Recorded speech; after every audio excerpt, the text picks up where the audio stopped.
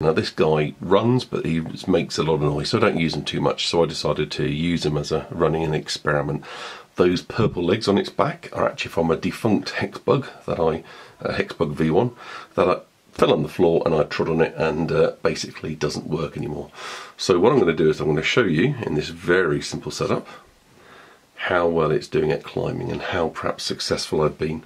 So obviously Hexbug V2 can climb this, no point showing you that. What I'm going to do is quickly pop a Hexbug V1 and let you see how far up the curve it can climb. So you can see there, they struggle, they try, they really want to climb but they cannot get out of there. What I'm going to do now is pop Hexbug V2 in, Hexbug 1.1 in, so he makes a noise, that was always his fault.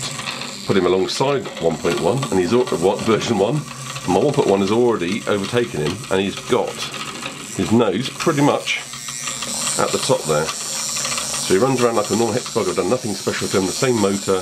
He just makes a bit of noise. I think the uh, the motor mechanism in here has become a bit loose because if I hold it snug, it doesn't make that silly noise. But as you can see, I'm already getting to the point where he can pretty much climb. So as you can see, I've already popped three. I've glued three. I shouldn't say pop. Uh, definitely glued, so it's super glue and I've tried to get the angle to match the V2s.